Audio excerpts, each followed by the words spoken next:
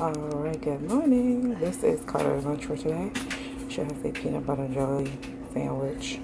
She has some mandarin oranges and she has some, um, what you call these? Chocolate Teddy Grahams. I need to go get her some more um, fruit, so.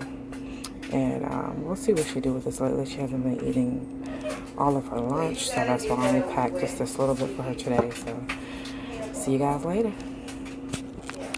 Alright, you guys, hello. So, tonight, well, I'm packing Carter's lunch tonight because we were rushing this morning and I was like, just let me pack her lunch the night before. So, for tomorrow's lunch, she has a Capri Sun.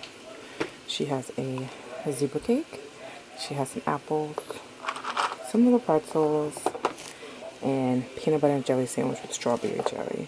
Um, I probably won't show what she ate because by the time she gets home from school, I'm not here. I'm still at work because I started back working. Um, I'm no longer on maternity leave. So, yeah.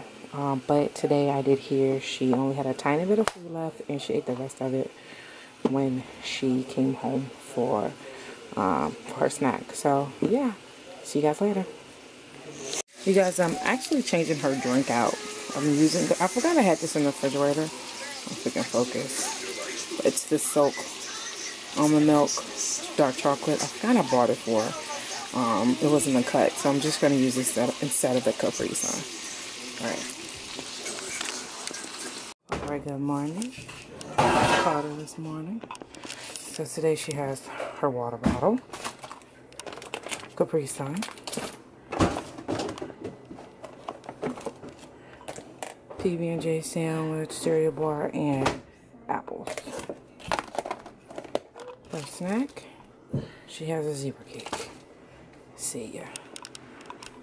Boo boo. Hey y'all. TGIF. I'm tired. I have to stop my coffee early. I usually drink it when I go to work, but I'm too tired.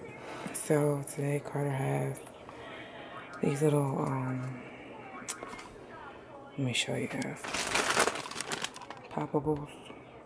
White cheddar. She has a few of those. She's never had them before, so I'm to test her out with them. I'll let you know if she eat them. Granola bar, cereal bar, apples, peanut butter crackers, Capri Sun. She has her water in the refrigerator because I forgot to, well, in the because I forgot to put it in there last night.